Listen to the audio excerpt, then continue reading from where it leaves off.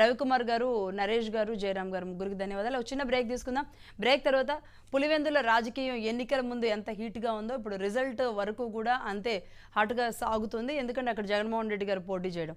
అలాగే పిఠాపురం పిఠాపురంలో కూడా పవన్ కళ్యాణ్ గారు ఉండడంతో రెండు నియోజకవర్గాల మీద పెద్ద యుద్ధమే నెలకొని ఉంది ముఖ్యంగా పులివెందుల్లో పులివెం పులివెందుల్లో ప్రతి బూత్కి ప్రతి పోలింగ్ బూత్కి ఒక టీడీపీ ఏజెంట్ను కూడా ఏర్పాటు చేసుకొని ముందుకు వెళ్ళడం అనేది ఈసారి ఎన్నికల్లో చాలా ప్రతిష్టాత్మకంగా టీడీపీ తీసుకోవడం. బీటెక్ రవి అసలు అక్కడ గెలుపు అనేది టీడీపీకే అనేది ఆయన కూడా కాన్ఫిడెన్స్గా చెప్పడం మాత్రం పులివెందుల రాజకీయాన్ని పులివెందుల జగన్మోహన్ రెడ్డి లేదంటే వైఎస్ఆర్ కుటుంబానికి పక్కా అని చెప్పిన దాని దగ్గర నుంచి పులివెందుల్లో అసలు ఏం జరుగుతుందని ఆలోచించడానికి ఆ వార్త చూడడానికి వరకు కూడా చర్చ వచ్చిన పరిస్థితి ఉంది. దీనికి సంబంధించి మాట్లాడదాం. పులివెందుల నుంచి బీటెక్ రవి గారు ప్రస్తుతానికి మహాన్యూస్ స్టూడియోలో ఎక్స్క్లూజివ్గా అందు రెడీగా ఉన్నారు. నమస్తే అండి రవి గారు. ఎలా ఉన్నారు? మొత్తం ఎన్నికల వేళ ఫుల్ హడావుడి అయినట్టుంది. కదా? బాగా కష్టపడినట్టున్నారు. ఎందుకంటే నేను కూడా మీ నియోజకవర్గానికి వచ్చాను కదా అవునమ్మా వచ్చారు ఆ రోజు ఉమ్, అంతా బాగుంది మా ఎవ్రీథింగ్. నాలుగో తేదీ కూడా అంతా సవ్యంగా జరుగుతుంది. తప్పకుండా రాష్ట్రంలో ఎవరు ఊహించని ఫలితం అయితే వస్తుందని అనుకుంటున్నాం. అంతేనా? ఊహించని ఫలితం ఎవరికి? అంటే పులివెందుల వరకు మాకు పులివెందుల వరకు టీడీపీకి. గతం కంటే ఎక్కువ వస్తుంది అనుకుంటున్నారా? నా నాకు మీరు ఆ రోజు ఒక మాట చెప్పారు. పక్కాగా మేము గెల గెలవడం పక్కా అని చెప్పేసి. కానీ ఎలా సాధ్యం అవుద్ది జగన్మోహన్ రెడ్డి గారు ఓటమి అనేది?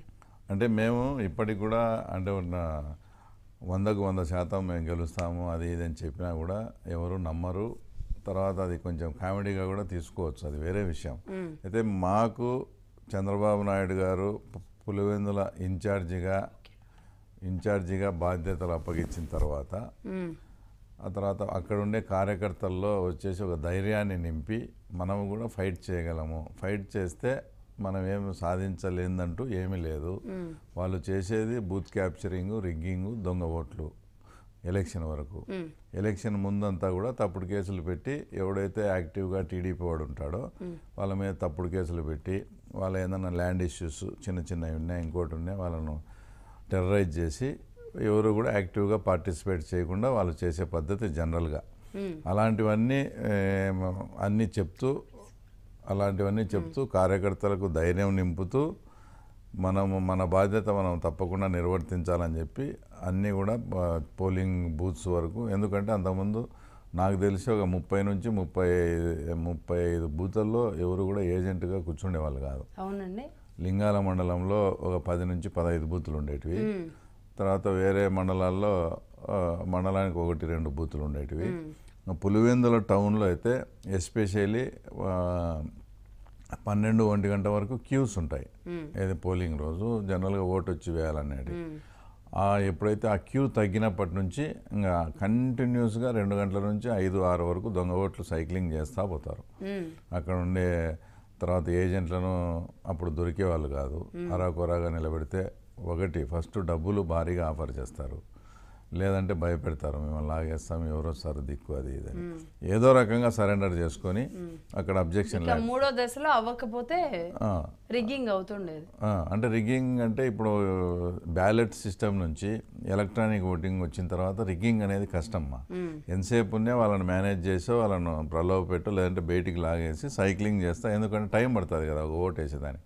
ఓకే. బ్యాలెట్ అయితే పట పట పట గుద్దేసి దాంట్లో వేసిపోతే మళ్ళీ పోలింగ్ ఆఫీసర్ రిమైనింగ్ వర్క్ తర్వాత చేసుకునేవాడు. ఏది అతనికి అతని మీదకి రాకుండా. ఇప్పుడు ఏమవుతుంది ప్రతిదీ పోలింగ్ ఆఫీసర్ ఓకే చేస్తేనే ఆడపోయి ఇతను ఇతను బటన్ నొక్కాల. అంటే నీకు ఫార్టీ ఫైవ్ సెకండ్ నుంచి వన్ మినిట్ పడుతుంది. కాబట్టి ఎవరు వచ్చి ఓటు వేసుకోలేదో వాళ్ళ ఎంతసేపు ఓటు వేయాలా? లేదంటే వేరే వాళ్ళ ఓటు వచ్చి అతను క్యూలో ఉండి మన ఏజెంట్ అబ్జెక్షన్ చెప్పకపోతే అట్లా వేయాలి. అట్లా కాకుండా సిస్టమేటిక్గా మనమైతే సమర్థవంతంగా ఎలక్షన్ ప్రాసెస్ అయితే నిర్వహించినామా.